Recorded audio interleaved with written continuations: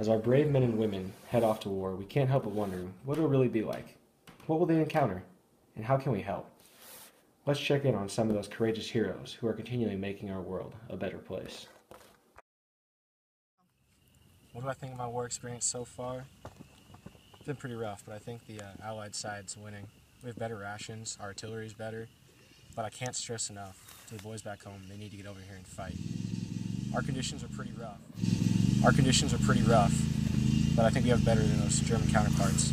Pretty confident we'll win this war, and we'll win it pretty soon. Being a nurse is hard. Pulling out bullets and healing wounds is stressful but rewarding work. It's so inspirational to watch these men risk their lives for their country. It's my duty to do whatever I can to help the war effort, just as it is every man and woman who is able. Go. All I gotta say is, you're weak if you're not helping helping out in this war.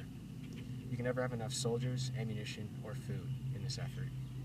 It's the job of you Sallies back home to help deliver the goods to all of us out here. I think the war is completely justifiable for the United States. The other day, I saw a German soldier stab a French baby with a bayonet. The action is so horrific, I can't put it into words, and he deserves to die. Everyone needs to do their part and volunteer so we can destroy the Germans and go home as soon as possible. Definitely the best way to kill Germans is to spray from the hip.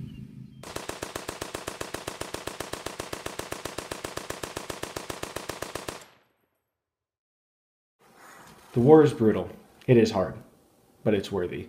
Do your duty to flag and country and sign up for the war. Do your part and end this war swiftly.